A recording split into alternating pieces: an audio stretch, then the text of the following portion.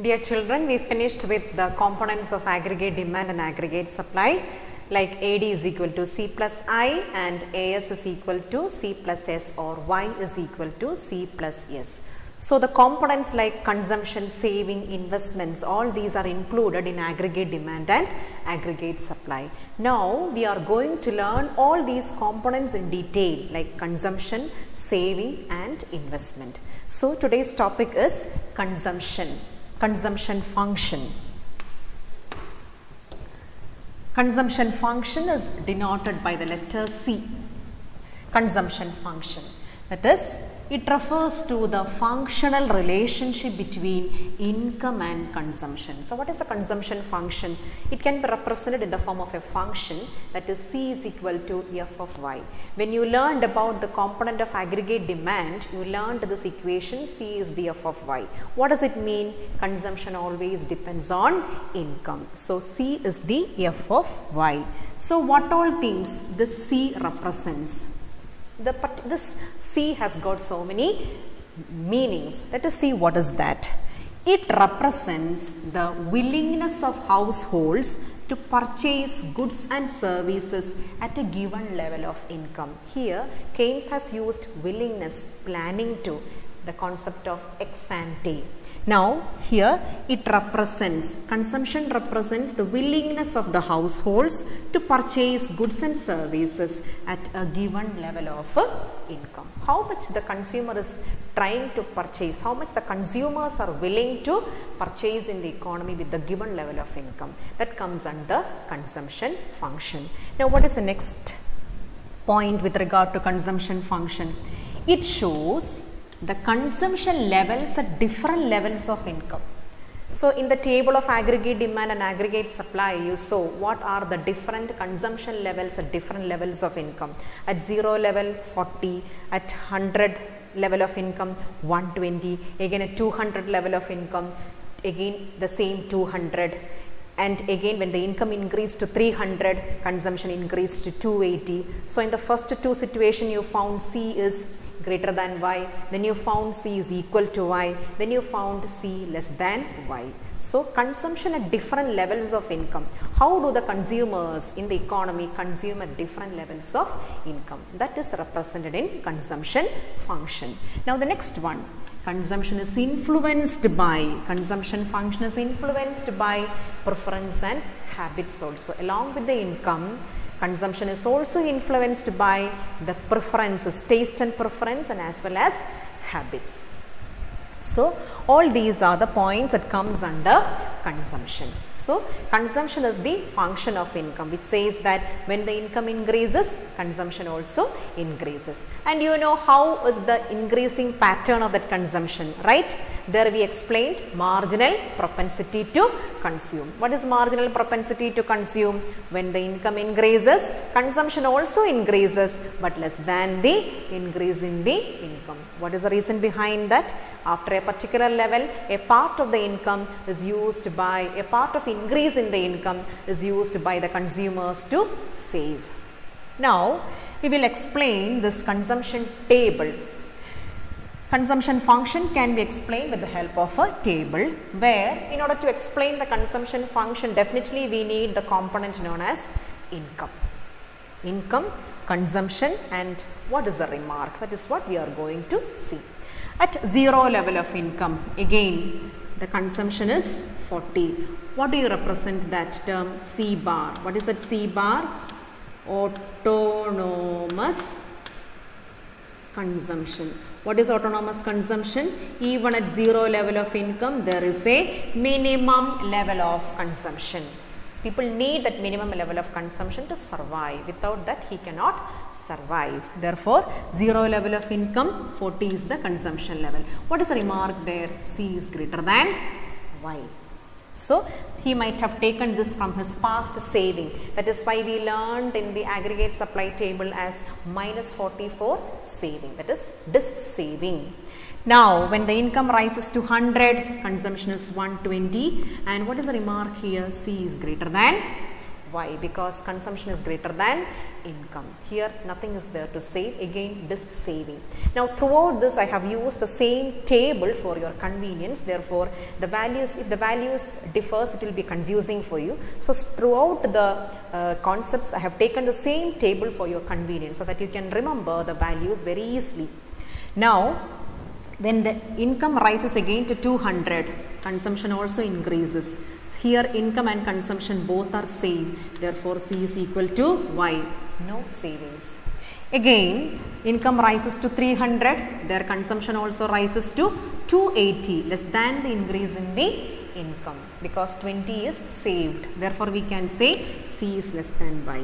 Again when the income rises from 300 to 400 consumption has increased from 280 to 360 less than the increase in the income. That means what is the difference between 360 and 400 40 40 is saved so c is less than y. Therefore you know if c is less than y savings will be there. If c is equal to y no saving. If c is greater than y this saving. So these are the remarks that you can find. Now based on this we can draw a diagram where the level of income can be marked on the x-axis, y-axis, x-axis, sorry, x-axis and consumption can be marked on the y-axis. You know, in a consumption function, if we have to represent that in the form of a diagram, two curves will be drawn one is consumption curve and the other one is income because consumption always depends on income. We have the equation C is the f of y. Therefore, to show the consumption function, two curves will be drawn that is one is consumption curve and the other one is y curve. Y curve means what? Income. Now, from where do the income curve originates? We have already drawn it in aggregate supply. Income curve always originates from 0. That is why I have drawn y always originates from the 0 axis. It originates, it, it starts from the point of origin. This is the y curve. Now, from where do the C curve starts? The C curve definitely starts from the y axis. Why? Because even at the zero level of income, there is a minimum level of consumption. Therefore, it starts only from here. Point C is a starting point of the consumption curve. Therefore, this particular area can be termed as C bar. The same thing we have marked in aggregate demand also, reminding you about that. So, the distance from O to C can be marked as C bar that is autonomous consumption. Even at zero level of income, there is a minimum level of consumption. So, C curve can be drawn from the y axis. When you draw the C curve, you can find this is how we draw the C curve. When you draw the C curve, you can find an intersection point between y and C. Now, let us explain this with the help of the table.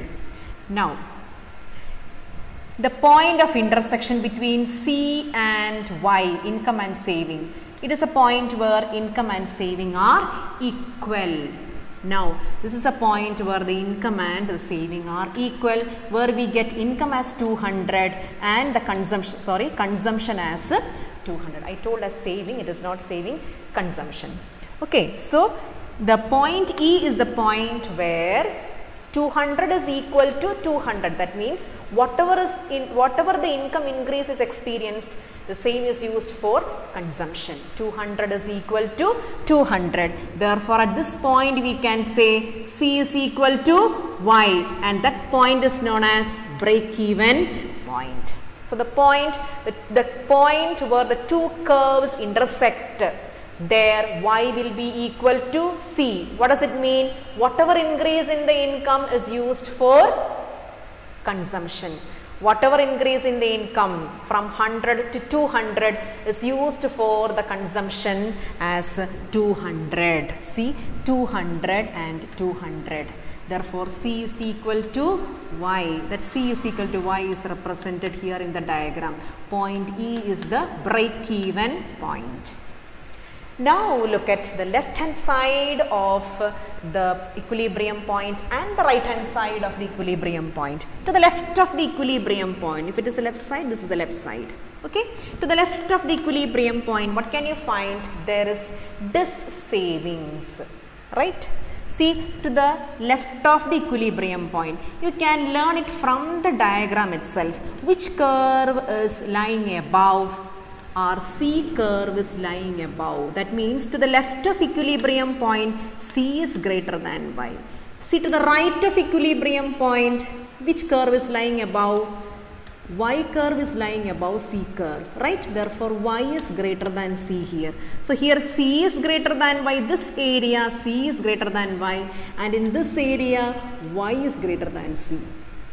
So, let us see that in the table before the equilibrium point what happens? C is greater than y. There are two situations where c is greater than y where c is 40 and consumption is 120 income is 0 and 100 this is that particular point. Dis saving so what is a dis saving what are the values of dis saving here? The values of dis saving are minus 40 one is minus 40 isn't it? One is minus 20 so, this is how we learn. So, here is the dis-saving part to the left of the equilibrium point. Why? Because C is greater than Y. To the right of the equilibrium point, you can find Y curve is lying above the C curve. Therefore, Y is greater than C. That means there is savings. Look at the table here. After C is equal to Y, you can find C is less than Y. That means Y is greater than C. If Y is greater than C, I told you there is savings in the economy. Therefore, this part shows the savings. So, in the consumption function diagram, we can mark both savings, dis-saving and the break-even point. The break-even point is a point where y is equal to c. Dis-saving is a part where c is greater than y. Saving is a part where c is less than y. Now, observations of the consumption curve. After drawing the curve based on the table, there are so many observations regarding the consumption curve. Let us point it out one by one. Number one, consumption curve starts from y-axis due to the autonomous consumption. That is very clear from the diagram. Consumption curve starts from this point C from the y-axis. Why? Because even at the zero level of income there is a minimum level of consumption. Once again I repeat at zero level of income the consumption was 40. Once again in the table at zero level of income consumption level is 40. Now, the second observation is consumption curve slopes upwards showing positive relationship between income and consumption. Definitely, if there is a positive relationship between two variables, consumption curve will slope upwards. Which are the two variables here? Consumption and the income. When the income increases, consumption also increases. Therefore, the slope of the consumption curve should be upwards. That is why it is written here consumption curve slopes upwards showing the positive relationship between income and consumption. Now the next one point E shows the break even point where C is equal to Y. We have learned that point E shows the break even point where income is equal to consumption 200 is equal to 200 right. So, observations consumption curve starts from the y axis due to autonomous consumption. Consumption curve slopes upwards showing the positive relationship between income and consumption. Point e shows the break even point where c is equal to y. Now next observation. To the left of break even point there is dis saving because c is greater than y. Just as i told you now to the left of equilibrium point E, C is greater than Y, therefore there is this saving represented by the area COE. This is COE, this particular area. That is what is written here COE. Again, I will show you in the diagram CO and E, this particular area. Now, what is the next observation? To the right of break-even point, there is savings because C is less than Y or Y is greater than C. That is what you have to go through next. To the right of this disequilibrium point, this side, the saving is there because Y is greater than C or C is less than Y here.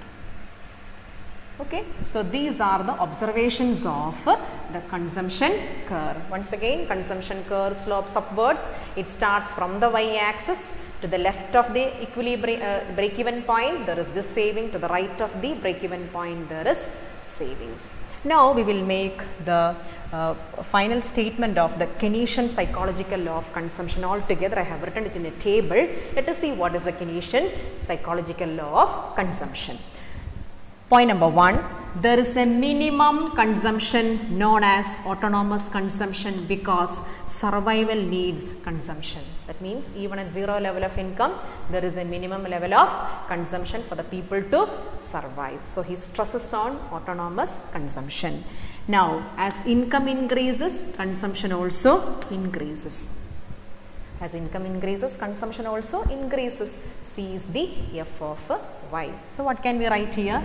This is autonomous consumption. He stresses on autonomous consumption. Therefore, this letter C bar. Next here, there is a minimum consumption known as autonomous consumption. That is what I have written here. Then, as income increases, consumption also increases. C is the F of Y.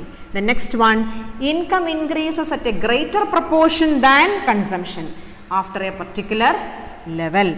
Income increases at a greater proportion than consumption after a particular level. What happens after a particular level? Increase in the income will be at a greater proportion. Increase in the consumption will be at a lesser proportion. Why? Because people will save a part of it. That is what we say when the income increases, consumption increases but less than the increase in the income. Consumption will be increasing only at a lesser rate than income. That means after a particular level, income increase will be higher than consumption increase. This is due to the presence of marginal propensity to consume which can be denoted by the letter B. So remember the following terms C bar C is the f of y and uh, MPC marginal propensity to consume which is denoted by the letter y. So, so far you have learned the equations such as AD is equal to C plus I, AS is equal to C plus S, AS is equal to Y, Y is equal to C plus S, autonomous consumption as a C bar, then marginal propensity to consume as B and uh, consumption function as C is the F of Y. I hope topics are clear to you. Thank you.